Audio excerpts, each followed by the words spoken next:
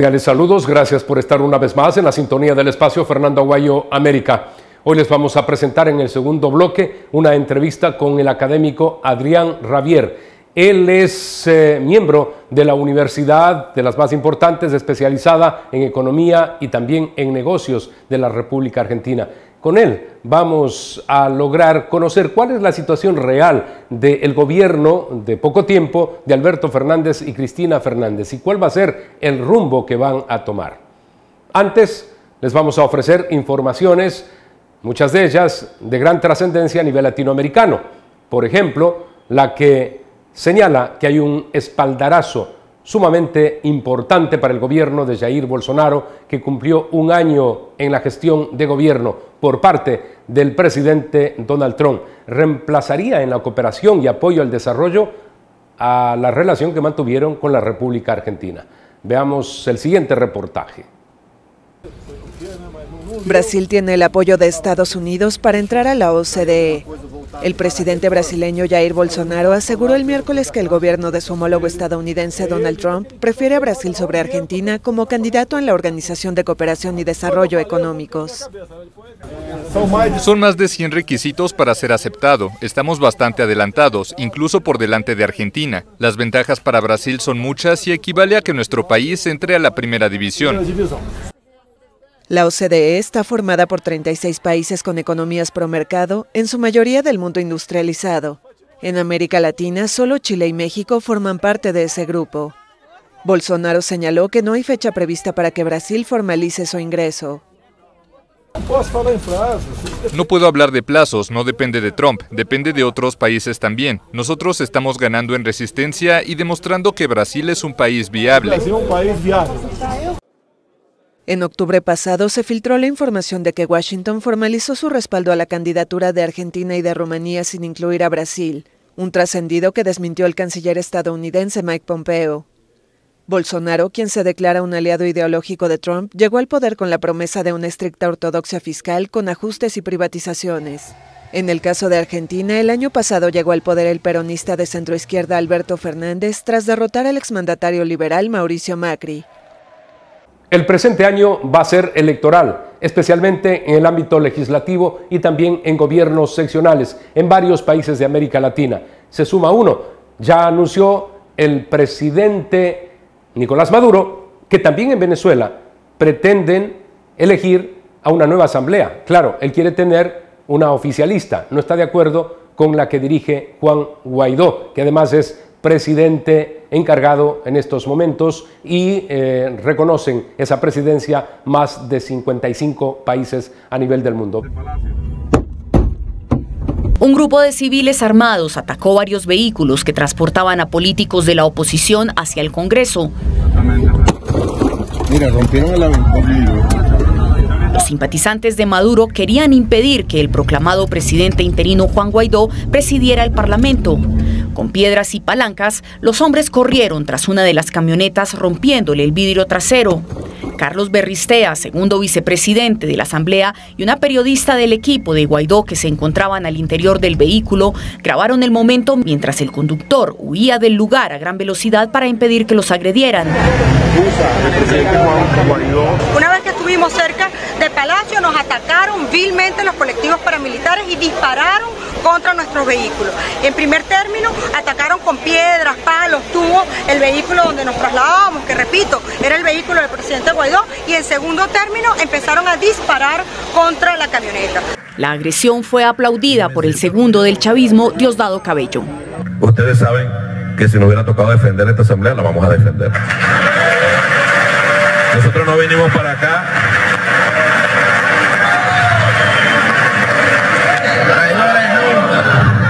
Así somos los revolucionarios las revolucionarias. No necesitamos una invitación con bordes de oro. Lo único que necesitamos es que el clarín de la patria suene. Mientras tanto, Juan Guaidó culpó de la agresión a la dictadura de Maduro y a sus Fuerzas Armadas. La Fuerza Armada fue cómplice hoy de esta, claramente de los, colectivos, de los paramilitares. Hoy la Fuerza Armada fue claramente cómplice de la agresión, el atentado y la emboscada a los parlamentarios. Guaidó señaló también que aunque no le permitan el ingreso al Palacio Federal Legislativo, seguirá sesionando a las afueras de él hasta lograr el ingreso.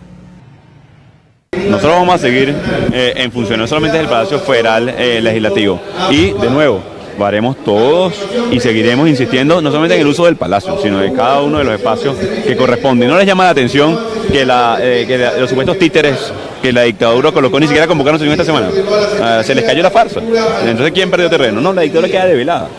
El pasado 5 de enero, las tropas bloquearon la entrada de Guaidó al Congreso y el Partido Socialista declaró al legislador aliado Luis Parra como jefe del Parlamento, lo que permitió a Maduro tomar el control de la única institución de Venezuela fuera de su alcance.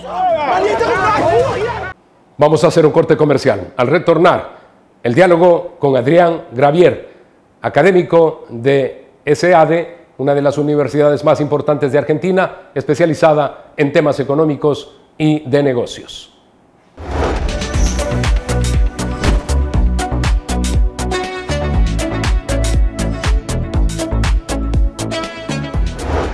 Somos un padre, una madre, un hermano, una hermana, un hijo. Pero al final todos somos bomberos.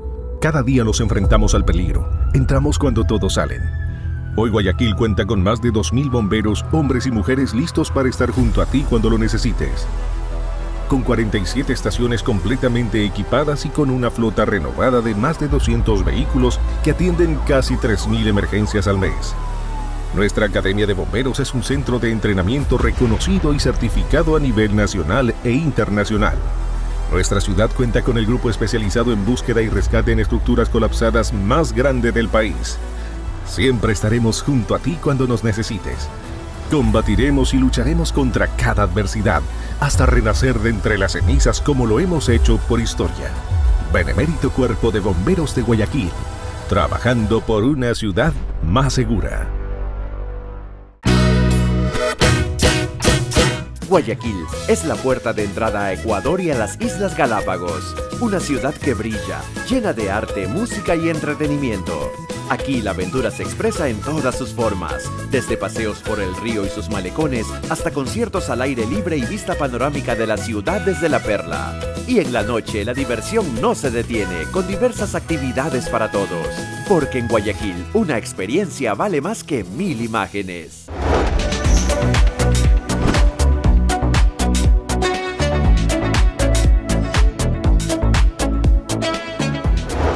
La República Argentina vive una crisis económica desde hace muchos años, un elevado déficit fiscal, un problema en el orden cambiario, una inflación sumamente elevada que supera el 50%.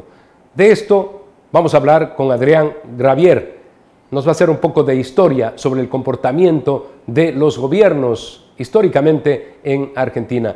Y además le vamos a pedir que nos indique cuál es la definición del gobierno actual y cuál es la línea a seguir por parte del régimen de Alberto Fernández, que quisiera aparentemente hacer otra cosa, pero que tiene a su vicepresidenta, que sabemos cómo manejaron el país Argentina, ella y su esposo, durante 12 años.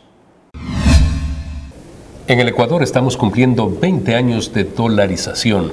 Argentina vive una crisis severa en el ámbito financiero, económico. ¿Por qué Argentina no dolariza? Bueno, eh, una primera respuesta puede ser ideológica. Eh, está claro que la cultura que, está impregnada en toda América Latina y también en la Argentina es una cultura anticapitalista, es una cultura contraria a Estados Unidos y su moneda. Eh, por eso en algún momento se habló no solo dolarizar, bueno, tomemos el euro como moneda, que sería más o menos el mismo concepto, pero en lugar de relacionarnos con Estados Unidos, más con Europa, que es un poco de donde venimos. Eh, pero eso tampoco ha ayudado. Creo que hay una idea de que abandonar la moneda local es, abandonar nuestra soberanía, es entregar nuestra soberanía a los Estados Unidos y creo que ese es uno de los argumentos que hace que, mucha gente se oponga y también los economistas. Los economistas dicen que eh, el problema de la Argentina es más fiscal que monetario y en la medida que el problema sea fiscal, eh, dolarizar no va a ayudar a resolverlo. Si se habla de soberanía, se entendería que Venezuela debería estar muy bien con su moneda, el bolívar, pero ya sabemos todo lo, que está sucediendo en Venezuela. Bueno, exactamente. Cuando uno mira Europa, eh, miramos España, miramos Alemania, Francia, países que han abandonado sus monedas locales por el euro, no han perdido soberanía. Venezuela tiene moneda local y, realmente hay hambre y pobreza. Eh, creo que el problema es ideológico eh, y está muy mal fundamentado. claramente la Argentina con la dolarización encontraría solución a, los problemas de inflación, eliminaría el riesgo de devaluaciones. Las devaluaciones han empobrecido a la Argentina eh, muchas veces y, hoy la Argentina está sufriendo el, tener una moneda local. Hemos perdido ya 14 ceros a lo largo de nuestra historia con monedas que se han, sido sustituidas por otras. Los momentos de estabilidad monetaria han sido muy cortos. Eh, la inflación promedio desde que existe el Banco Central promedio anual es del 55% por año. Eh, Desde 1935 que se crea el Banco Central argentino. exactamente, o sea, hoy 2019, 2020, la Argentina tiene para 2019 una inflación del 55% anual. Uno diría, bueno, es un caso excepcional. No, es la inflación promedio que la Argentina ha tenido desde que el Banco Central de la República Argentina existe. Eso nos está mandando que realmente la Argentina tiene un problema estructural y mi sensación es que mientras exista el Banco Central para monetizar los déficits públicos del gobierno, el gobierno no va a encontrar límite al populismo. El populismo hace que, por ejemplo, se ofrezca más de lo que se tiene. Hay populismos como el que vivió el Ecuador, un populismo de izquierda, pero en dolarización. ¿Cuál es la diferencia del populismo en dolarización y el que tiene moneda propia? Bueno, exacto. El, populismo no dolarizado, que es el que ha tenido la Argentina y Venezuela, es un, bueno, es un populismo que claramente genera, que no tiene límites, eh, que se sabe que cualquier propuesta y programa social se puede llevar adelante y siempre va a ser monetizado. Eh, quiere decir que va a poder financiarse con emisión monetaria sabiendo que va a generar inflación, pero es mejor saber que hay inflación y que esos programas se van a realizar que a contener el gasto. En, el populismo dolarizado que vimos con Correa en Ecuador, eh, lo que uno observa es que hay un límite y que el límite es la deuda y la deuda no puede ser infinita, con lo cual el gobierno está obligado a un mínimo de austeridad para, bueno, para mantener eh, la dolarización, que es algo que no se discute.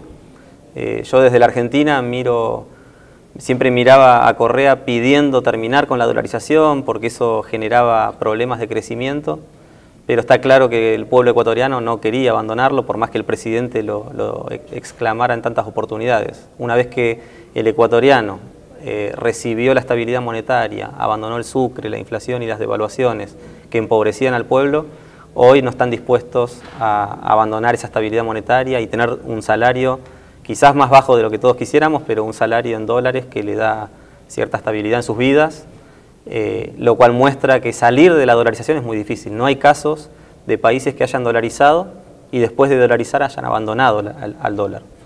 Eh, hay un caso que a veces se pone como ejemplo, que es el de la Argentina, que estableció la convertibilidad de que un peso era igual a un dólar y finalmente abandonó esa convertibilidad por problemas fiscales y complejos, digamos, de la Argentina, pero no es lo mismo esa convertibilidad que, abandonar la dolarización. Eh, yo creo que en el caso de la Argentina, la convertibilidad siempre abría la puerta a que en cualquier momento eh, se cambiara el ratio de un peso por dólar a tres pesos por dólar o, al, cambio de la moneda, y eso generaba incertidumbre y eso generaba problemas de crecimiento y de empleo. En el caso de Ecuador, de El Salvador, de Panamá, yo creo que no hay riesgos de devaluación, y eso se transmite al riesgo país, eso se traduce a una tasa de interés real más baja, eso se traduce a un poco más de crecimiento, que es lo que vivió Ecuador en la década posterior a la dolarización. Lo que después está claro también es que la dolarización no es suficiente. O sea, uno puede dolarizar y resolver algunos problemas como son el problema de la inflación, las tasas de interés elevadas. Después la realidad es que uno tiene que insertarse en el mundo, tiene que abrir la economía, tiene que construir calidad institucional, tiene que tener seguridad jurídica, Estado de Derecho, tiene que limitar el gasto, tiene que bajar los impuestos. La competitividad depende en gran parte de la mochila de impuestos que pagan las empresas. Si los impuestos son muy altos y las empresas no logran ser más competitivas que las de los países vecinos, Ecuador no crece. Entonces yo creo que más que poner el foco en recuperar el sucre o una moneda local para poder devaluar y ganar competitividad vía devaluación, lo que tiene que hacer Ecuador es poner el foco en bajar la presión tributaria y ganar competitividad. Por ahí flexibilizar el mercado laboral. Esas son las preguntas que se hacen los países desarrollados o los países que crecen. Argentina es un claro ejemplo de que la devaluación no ayuda. Hemos sido el país que más ha devaluado por años y solo nos ha traído pobreza. Con lo cual, el mensaje de un argentino economista que viene a Ecuador es no piensen que salir de la dolarización les va a permitir volver a crecer. Sepan que los países que no tenemos dolarizada la economía y usamos la devaluación como medio para ganar competitividad, lo único que generamos es más pobreza, más inflación y nuevas devaluaciones que nos devuelven más pobreza, inflación y falta de crecimiento. Así que la salida no es por ahí. Estamos dialogando con el académico argentino Adrián Ravier. Vamos a hacer un corte comercial, retornamos para la segunda parte de este interesante diálogo.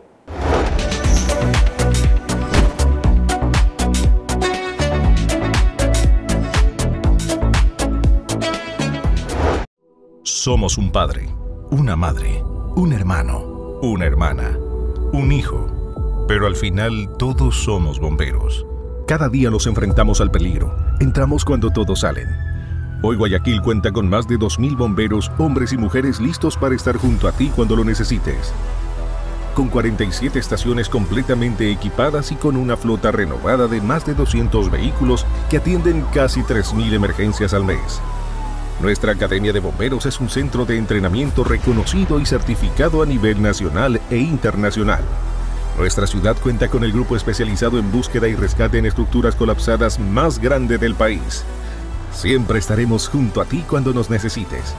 Combatiremos y lucharemos contra cada adversidad hasta renacer de entre las cenizas como lo hemos hecho por historia. Benemérito Cuerpo de Bomberos de Guayaquil, trabajando por una ciudad más segura. Guayaquil es la puerta de entrada a Ecuador y a las Islas Galápagos, una ciudad que brilla, llena de arte, música y entretenimiento. Aquí la aventura se expresa en todas sus formas, desde paseos por el río y sus malecones hasta conciertos al aire libre y vista panorámica de la ciudad desde la perla. Y en la noche la diversión no se detiene, con diversas actividades para todos. Porque en Guayaquil una experiencia vale más que mil imágenes.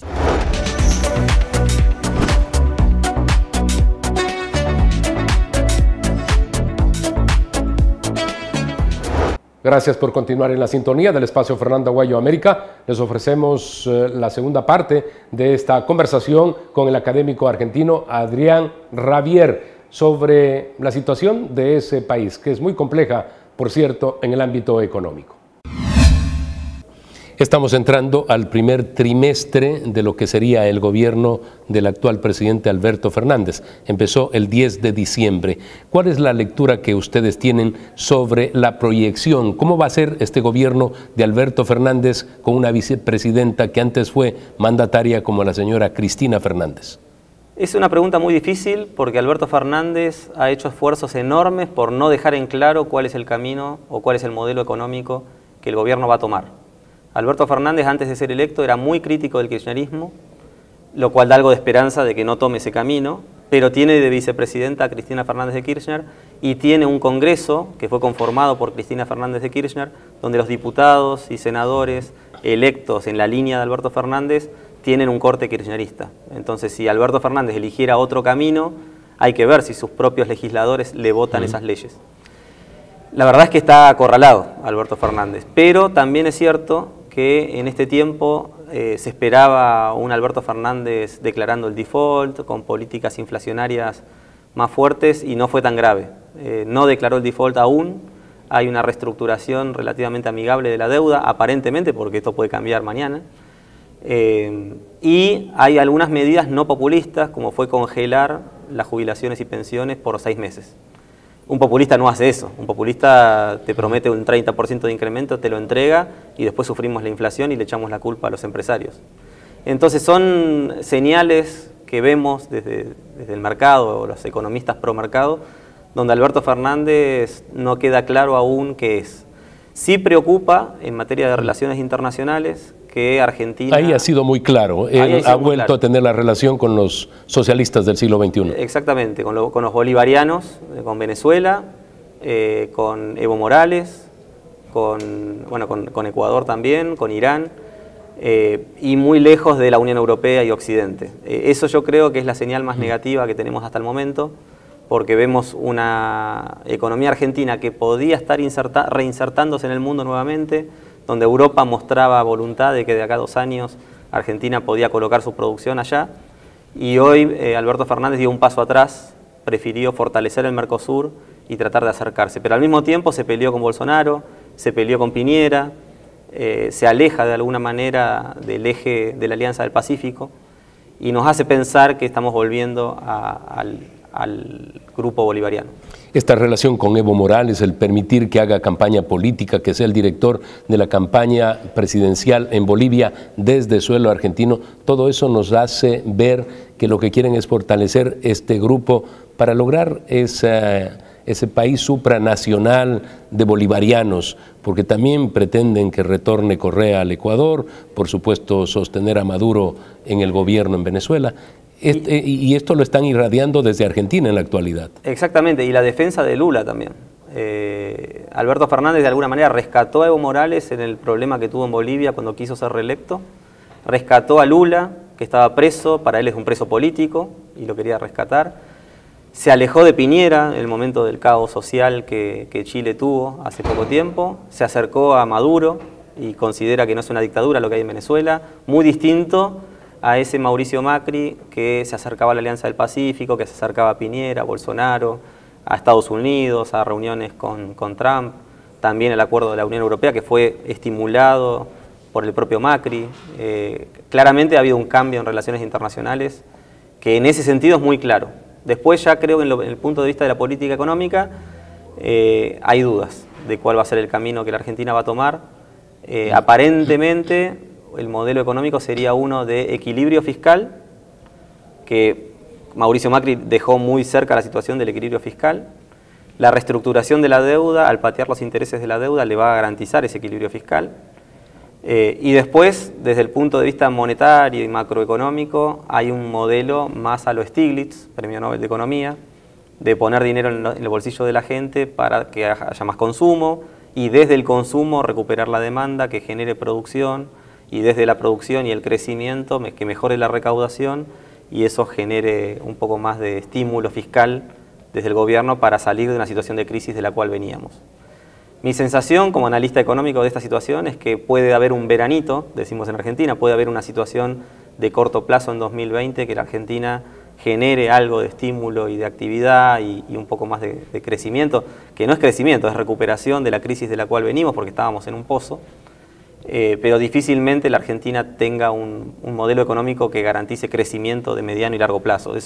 hay problemas estructurales muy complejos que no creo que Alberto Fernández pueda resolver y soy muy pesimista en que pueda bajar la inflación porque desde el Banco Central las señales que llegan es que no van a parar de, darle a la maquinita, digamos, de imprimir dinero, de monetizar el déficit público, sino que más bien van a usar el instrumento monetario como un instrumento que pueda fomentar el crecimiento. Y creo que ahí está el mayor error que, estamos cometiendo en este nuevo gobierno. Es lógico que los países eh, busquen, intenten progresar, lograr el desarrollo, ir hacia el primer mundo. Argentina era un país considerado entre los más ricos a fines del 1800 y en los inicios del 1900 era entre la cuarta y la quinta economía, precisamente, y usted aludía a la Primera Guerra Mundial. ¿Cómo es que un país que fue desarrollado más bien baja hacia el subdesarrollo? ¿Cómo se explica? Bueno, la Argentina con el modelo agroexportador y con la importación de instituciones, como fue eh, la constitución de la Argentina, basada en, en la de Estados Unidos, en California, basada en la de Francia, generó un marco institucional que atrajo inversiones, que atrajo inmigrantes, que pobló la Argentina, que generó inversión y producción y crecimiento. Eso llevó a la Argentina en 1898 a ser el país más rico en PBI per cápita del mundo. Por eso, de hecho, atraíamos inmigrantes. No es que venían a la Argentina a probar suerte, sino que se sabía que en Argentina podías hacerte la América. Venías, trabajabas tres meses y después se volvían los otros nueve meses a España a disfrutar del resultado del trabajo de esos tres meses. Esa era una Argentina que crecía. Hubo un problema ahí que Estados eh, Inglaterra, que era el principal mercado al cual nosotros colocábamos nuestra producción, dejó de comprarla a Argentina y pasó a comprarla a Estados Unidos. Y eso generó un intercambio entre los intelectuales de la época de tratar de producir, de sustituir importaciones, de producir nosotros mismos aquello de lo que íbamos a vivir, el vivir de lo nuestro. Y ese modelo que se ha mantenido 70, 80 años ha generado una industria, pero es una industria muy improductiva, con muchos privilegios, con mucho subsidio del gobierno, una industria que el 90 y pico por ciento de los productos que genera son consumidos internamente, no podemos exportar porque no somos competitivos. Y el, por el contrario, el campo... Se obliga a comprar el producto argentino, en definitiva, a los ciudadanos, porque los aranceles para lo importado son sumamente altos. Sí, o se prohíbe la importación de ciertos productos que, para defender la industria local, o se aplican aranceles altísimos para encarecer mucho el producto extranjero, que de otro modo sería mucho más barato que el local. Se trata de fomentar y defender también el trabajo argentino que va asociado a esa industria. Bueno, claramente la Argentina tiene por naturaleza eh, un modelo agroexportador que podría, darles un, mm. podría darnos una, una, ventaja competitiva y podríamos tener un, un pasar parecido al de Australia, Nueva Zelanda, Canadá, Estados Unidos. Esos son los países con los que nosotros nos comparamos la realidad es que en lugar de fomentar el campo y la producción de ese modelo agroexportador, hemos elegido el otro camino de tratar de industrializar la Argentina. Ese camino empobrece, es el camino que nos lleva a tener que pagar por productos industrializados valores cinco veces lo que vale en el resto del mm. mundo. Yo siempre digo que hay dos tipos de productos, bienes transables y bienes no transables. Los economistas hablamos en esos términos. Transables son los bienes que se pueden importar, eh, y el que se pueden exportar. Los no transables son un corte de pelo, los productos que no se mm. pueden. Bueno, la Argentina eh, trata de producir los bienes transables y lo hace a costos altísimos. Entonces eso genera una pobreza enorme porque tenemos eh, en el costo de la canasta básica, que una persona pobre tiene que poder, ver si puede acceder o no a esa canasta, tenemos costos altísimos para alimentos, para ropa, para productos básicos. Si nosotros liberáramos la importación y los costos de esos productos bajaran fuertemente, la pobreza se reduciría muy rápido. Por supuesto que eso Perú bajó aranceles, lo propio Chile anteriormente. Bueno, sí, son modelos de la Alianza del Pacífico con otra mentalidad, digamos, que mm. son los países que crecen en la región. La Argentina, por el contrario, está en esta dinámica eh, y es la que nos lleva a tener pobreza cada vez más grande, y que la brecha que teníamos con el resto de América Latina se haya cortado e incluso haya sido superada. Hoy Argentina está superada por Chile, por ejemplo, en materia de PIB per cápita, en materia de muchos índices de desarrollo humano, eh, lo cual muestra la degradación y la depresión económica que estamos viviendo, productos de políticas populistas que se mantienen en el tiempo. Muchas gracias, Adel.